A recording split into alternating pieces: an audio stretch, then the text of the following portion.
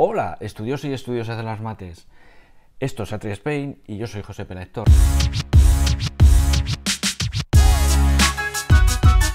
Hoy vamos a ver un nuevo vídeo de ecuaciones. Como os eh, prometí, vamos a hacer tres vídeos, tres episodios, la trilogía, la trilogía de ecuaciones con paréntesis, con fracciones y mezcla de ambos, de paréntesis y fracciones. Y en este en concreto vamos a ver con fracciones, vamos a trabajar las fracciones.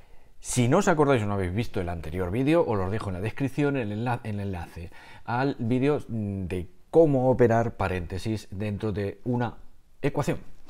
Bien, ¿y cómo vamos a solucionar eh, las ecuaciones con fracciones? Pues lo vamos a solucionar con el método METOR.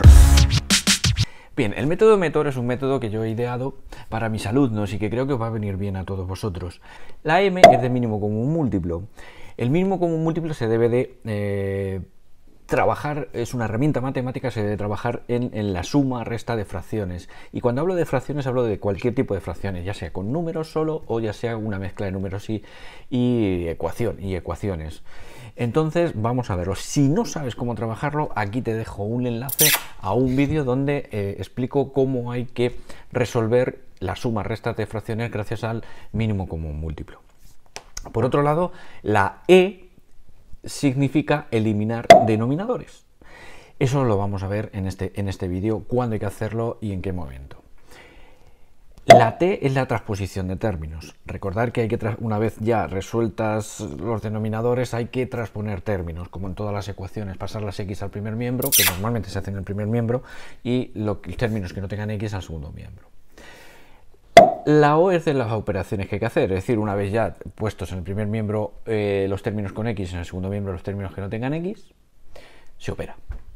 Y la R es resolución de la incógnita. Una vez que ya lo tenemos hecho, hay que despejar la incógnita y ver la solución. Este es el método METOR. Bueno, pues vamos al lío.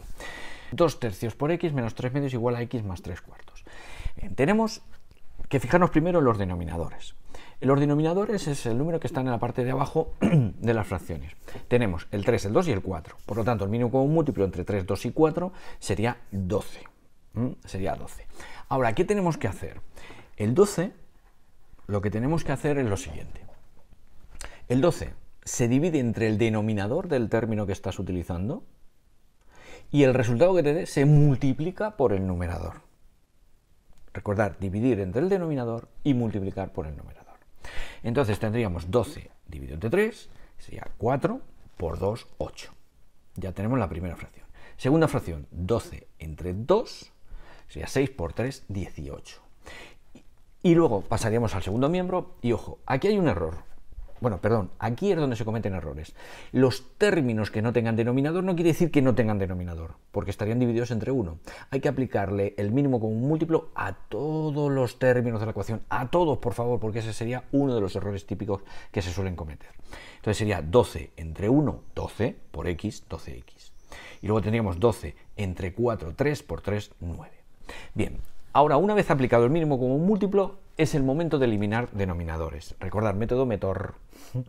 La E de eliminar denominadores. Este es el momento. Quitamos todos los denominadores sin más, no os preocupéis, sin más. Y tendríamos 8 por x menos 18 igual a 12x más 9. Bien, ya lo tenemos eliminado. Ahora lo que tenemos que hacer es transponer la t de transponer términos. Es decir, nos llevamos las x al primer miembro. No la llevamos al primer miembro porque se suele hacer así. ¿eh? Y lo que no tenga x al segundo. Cuidado con los signos. ¿eh? Cuidado con los signos. Entonces tendríamos 8x que se queda en el primer miembro, se queda con su signo, 12x que pasaría al segundo, eh, al primer miembro sería menos 12x igual a 9 menos que pasaría más 18. La O de metor. Operamos 8x menos 12x menos 4x igual a 27.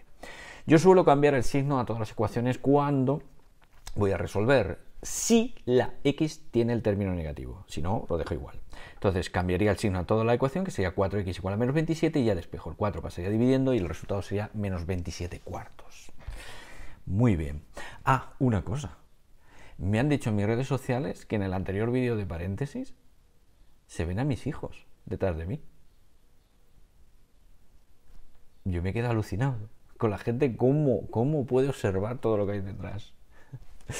Bien, bueno, yo lo dejo. Bien, vamos a ver. Eh, vamos a por otro ejercicio. Este. fijaros, tengo 2 tercios por x menos 3 medios igual a x más 3.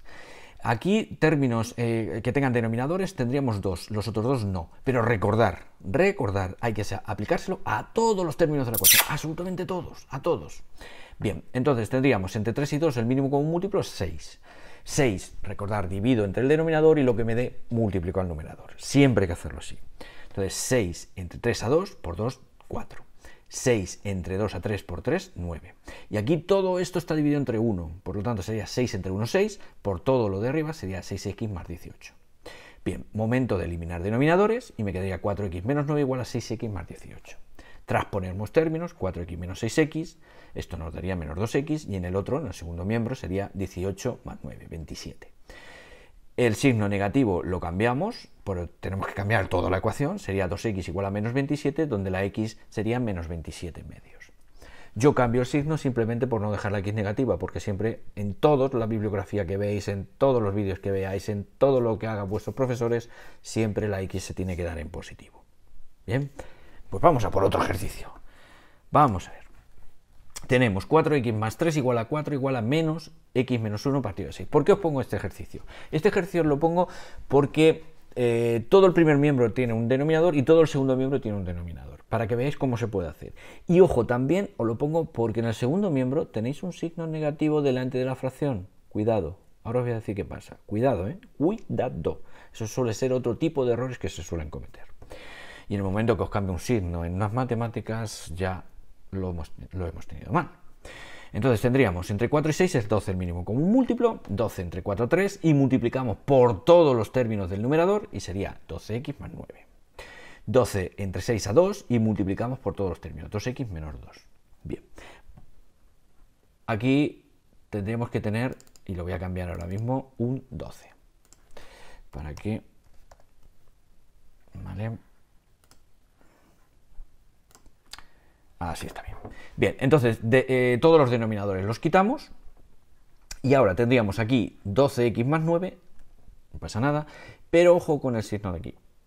Este signo afecta a todos los términos del numerador, todos, no al primero, que es lo que se suele hacer mal. Entonces me quedaría menos 2x y menos por menos más 2, menos 2x más 2. Momento de la t, momento de la transposición de términos. Nos llevamos todas las x al primer miembro y lo que no al segundo miembro. 12x más 2, cuidado con los signos, y 2 menos 9. Operamos 14x igual a menos 7 y despejamos la x. Menos 7 catorceavos. Como tengo, ojito, como tengo una fracción que puede ser reducible, en este caso entre 7, dividimos todos los términos, el numerador y el denominador, entre 7. Y me quedaría x igual a menos 1 medio. Esta es la solución. Bien, otro ejercicio tendríamos x menos 7 partido de 4 menos, cuidadito, x menos 11 dividido entre 5 más x menos 9 partido de 6 igual a 3. Bien, entre 4, 5 y 6 el mínimo común múltiplo es 60.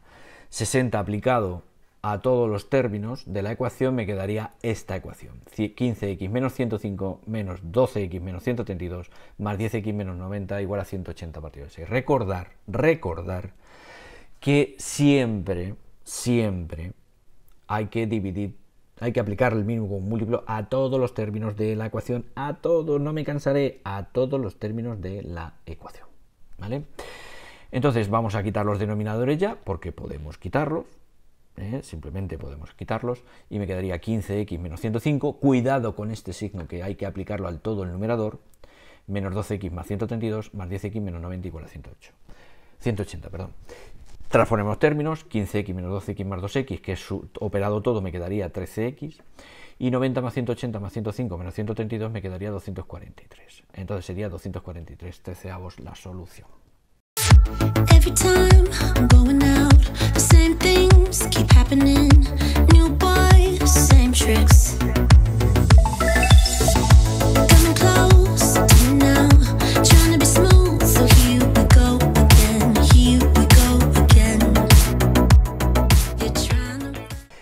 A ver, ¿qué os recomiendo yo para desarrollar bien este tipo de ecuaciones? Os recomiendo que sepáis bien transponer, que sepáis bien cómo se hacen la regla de los signos, eh, cómo se operan ecuaciones más sencillas. Para ello, os voy a dejar aquí y en la descripción enlaces a mis vídeos, donde os explico absolutamente todo ello. todo, absolutamente todo. Bueno, pues nada, en este caso voy a dejar todo para el siguiente vídeo, que es el de mezcla entre paréntesis y, y fracciones, que estoy trabajando ya en él. Por lo tanto, en los comentarios os voy a dejar un regalito, os voy a dejar un regalo. Eh, darle like si os ha gustado. ¿Por qué os decimos darle like? O poner comentarios porque de esa manera YouTube lo que hace es ver que este vídeo lo está viendo gente, está interaccionando gente, entonces es bien para mí, es bien para YouTube, pero sobre todo es bien para, para vosotros. ¿Por qué? Porque yo sigo haciendo vídeos. De otra manera mi canal quedaría en el olvido y por lo tanto yo no podría seguir haciendo vídeos. Y me gusta, me gusta, me apasiona, me apasiona ayudar, me apasiona las matemáticas y quiero trasladarlo quiero trasladarlo. Y en próximos vídeos hay muchísimas sorpresas más, muchísimas sorpresas más. Tengo un nuevo blog donde todavía no lo he puesto porque quiero, quiero completarlo más, que va a ser una pasada, va a ser una pasada. Por lo tanto, darle like, compartirlo en vuestras redes sociales, darle a la campanita y si no te has suscrito, dale la cocorota a este vídeo de aquí. Si quieres ver eh, otro vídeo de, de ecuaciones, dale a este y por otro lado, si quieres ver todo el curso completo, aquí tienes también todo el curso completo de ecuaciones.